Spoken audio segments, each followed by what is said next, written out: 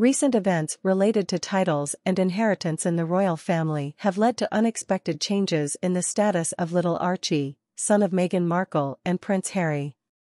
The discussion and passing of the Succession to the Throne Act led to Archie being stripped of his royal titles and eventually becoming the Marquis of Bath. Let's take a closer look at the highlights of this story. Discussion of the Act of Succession to the Throne. The Act of Succession to the Throne set out in Volume 744. According to this law, in order to enter the line of succession, a child must be born to the spouse of a royal member and be conceived by a member of the royal family. Thus, surrogacy automatically excludes the offspring from the line of succession.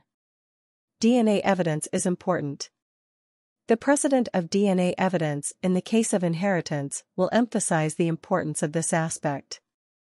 A dispute over the inheritance of a Scottish baron was heard before the Privileges Council.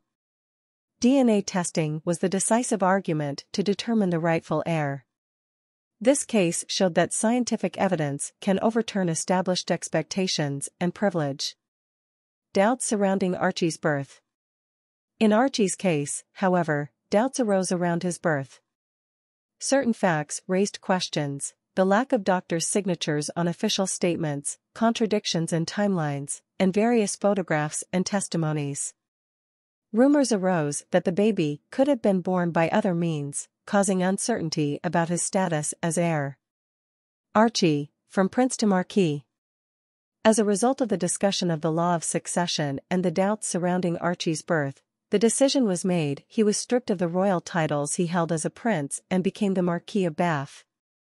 This decision emphasizes the importance of following royal protocols and the laws of succession. Conclusion The Archie story raises important questions about inheritance, DNA evidence, and adherence to royal traditions. The discussion of the law of succession and the subsequent stripping of Archie's title serves as a reminder that even in the modern world, decisions based on rules and scientific evidence remain key to preserving the integrity of the monarchy and hereditary privileges.